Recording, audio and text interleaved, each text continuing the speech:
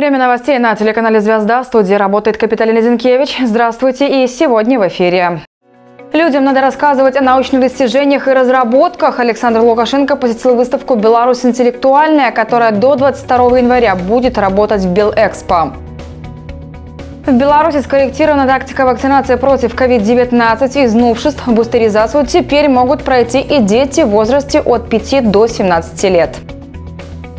Из теплицы сразу на прилавок. В этом году полоский филиал «Весна Энерго» планирует увеличить урожайность огурцов и томатов, а вместе с ней и экспортные поставки в Российскую Федерацию. Обработок у нас никаких нет вообще. У нас продукция чисто экологическая. Статус «Оправданный и заслуженный» Новополоцк в 2023 станет молодежной столицей Беларуси. Торжественная церемония передачи эстафеты запланирована на март. Этот статус предусматривает то, что мы должны показать всей республике, чем живет молодежь города. Перейдем к подробностям. В столичном выставочном комплексе «Белэкспо» заработала выставка «Беларусь интеллектуальная». Организовать демонстрацию научных достижений и разработок страны – поручение главы государства. Поэтому в числе первых посетителей экспозиции Александр Лукашенко. В огромном павильоне все то, чего добилась отечественная наука за последнее время. Причем начиная от производства эксклюзивных белорусских продуктов и заканчивая освоением космоса. Как подчеркнул президент, в нашей стране достаточно научно-технических разработок – не только для обороны и безопасности, но и для мирной жизни. И нужно о них рассказывать жителям.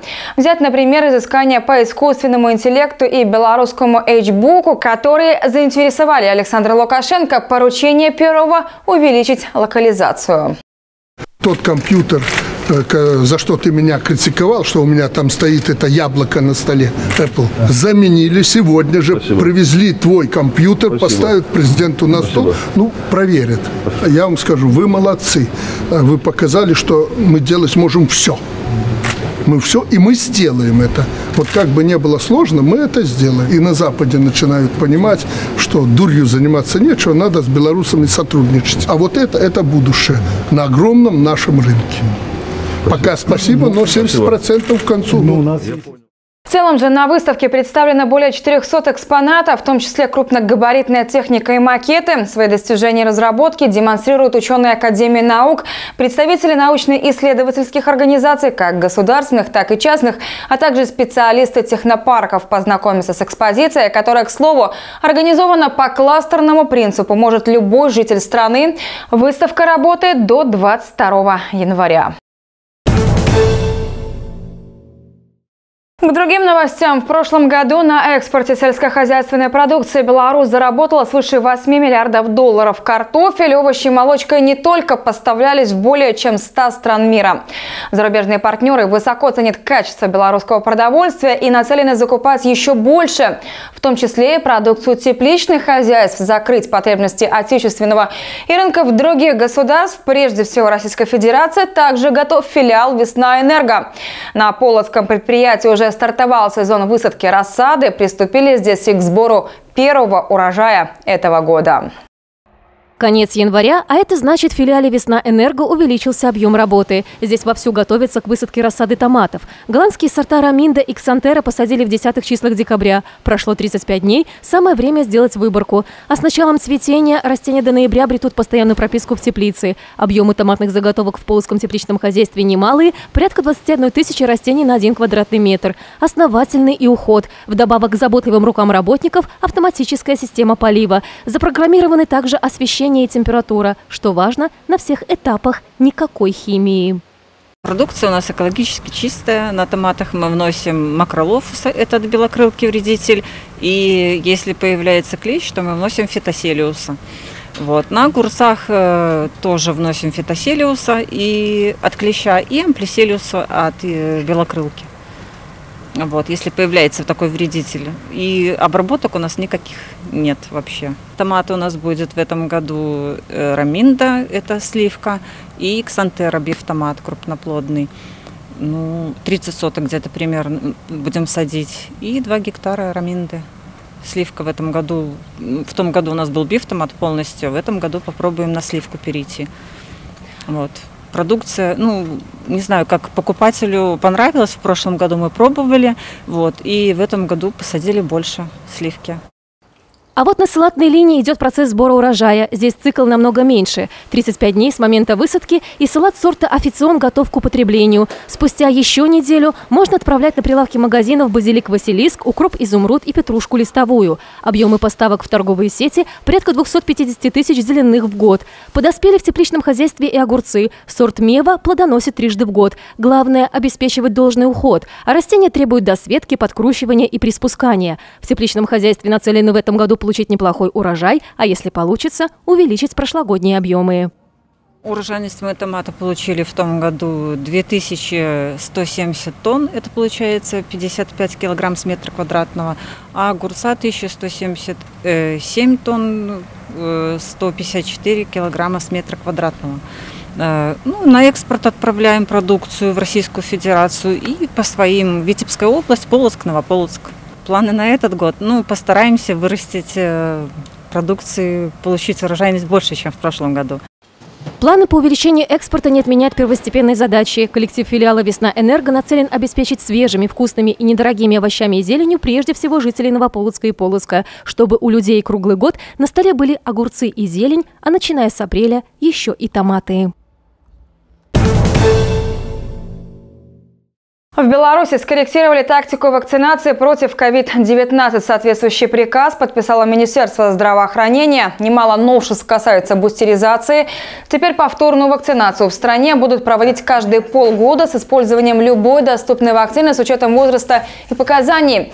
Также разрешено применение компонентов 1 или 2 без чередования для двухкомпонентных вакцин, причем независимо от типа вакцины, которую вводили до этого.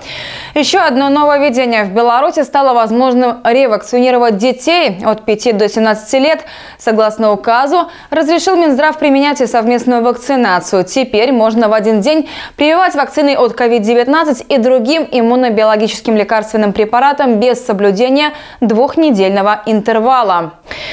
Что касается в целом эпидситуации, то в нашей стране отмечается снижение заболеваемости коронавирусом, острыми респираторными инфекциями и гриппом, хотя в отношении последнего медики держат руку на пульсе. Ведь в этом году грипп, ранее вытесненный коронавирусом, вернулся в Беларусь. В основном циркулирует вирус гриппа А, H1N1, который в народе прозвали свиным. На контроле медиков и вопрос с появлением новых штаммов COVID-19.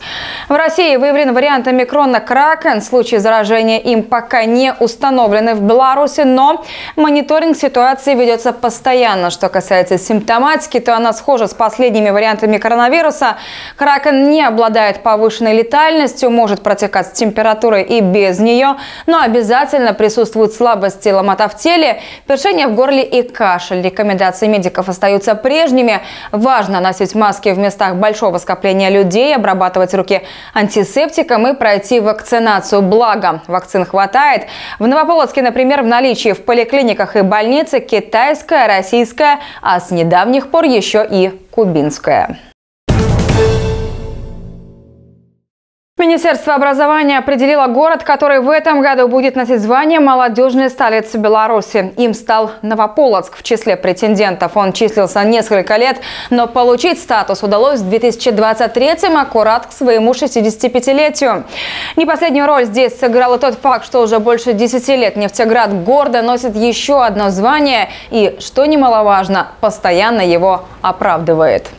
Мы первыми в Беларуси получили статус э, города дружественного детям.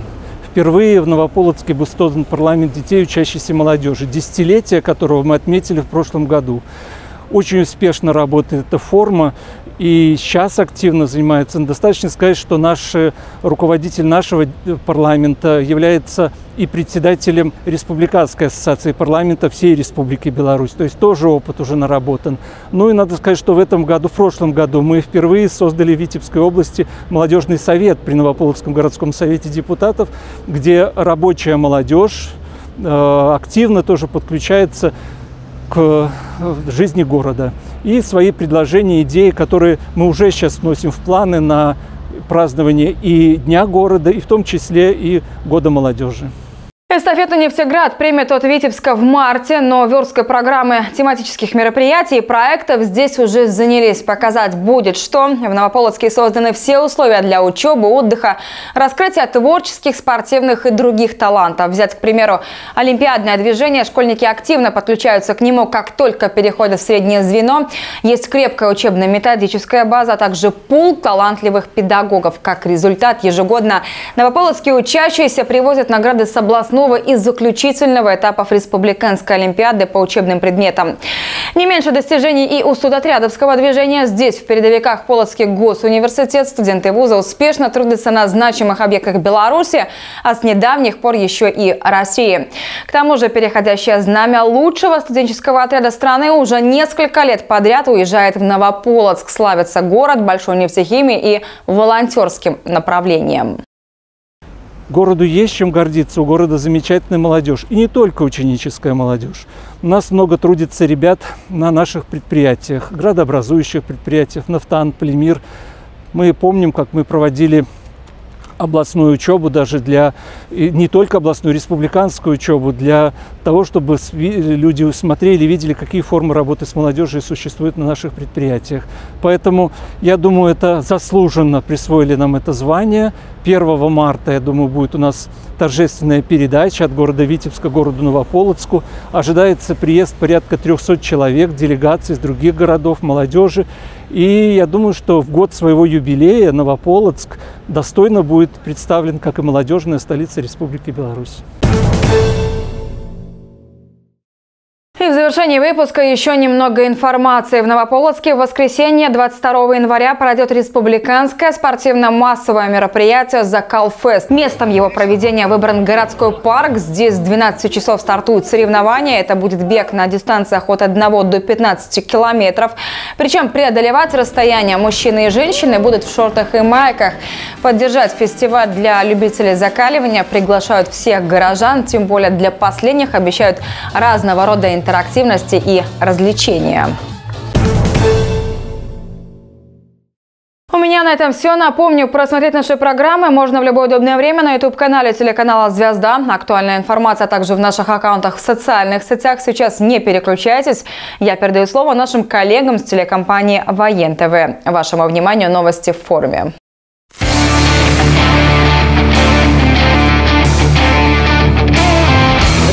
В форме. С вами Сергей Чураков. Добрый вечер. В Беларуси достаточно научно-технических разработок не только для обороны и безопасности, но и для мирной жизни. Об этом глава государства Александр Лукашенко заявил при посещении выставки «Беларусь интеллектуальная». Она стартовала сегодня в Минске. Настолько масштабная демонстрация научно-технических разработок в стране проходит впервые. В экспозиции представлены порядка 400 образцов по различным направлениям. Искусственный интеллект, IT и биотехнологии, робототехника. Свои наработки показали и представители военного ведомства. Выставка будет работать все выходные в Национальном центре Белэкспо. В рамках проведения совместных мероприятий боевого слаживания региональной группировки войск союзного государства подразделения механизированной бригады из Гродно выполняют задачи оборонительной тематики. Экипажи боевых машин совершили многокилометровый марш в назначенный район, развернули полевой лагерь, приступили к занятиям по боевой подготовке. Военнослужащие механизированной бригады из Слонима поздравили со 104-м днем рождения ветерана Великой Отечественной войны Николая Степановича Фурчакова. С первых дней войны он сражался с немецко-фашистскими захватчиками в рядах Второго Украинского фронта. Участвовал в боях за Кировоград, прошел боевой путь от Белостока до Кёнигсберга. За боевые заслуги награжден Орденом Славы Третьей степени, Орденом Красной Звезды, Орденом Отечественной войны. До встречи, смотрите нас во вторник в эфире телеканала «Звезда».